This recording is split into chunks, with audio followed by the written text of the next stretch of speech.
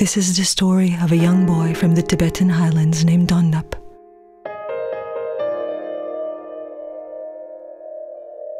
Dhondup was told from an early age that it is better to live for one day as a tiger than to live for a thousand years as a sheep.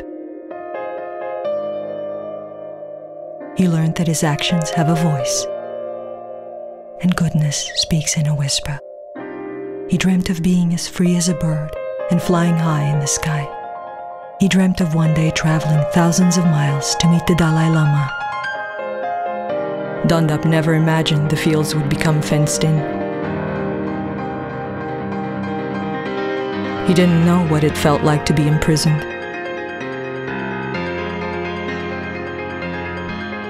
Dhondup didn't know what it felt like to be silenced by force. But he knew goodness speaks in a whisper. And from one single candle, thousands of candles could be lit.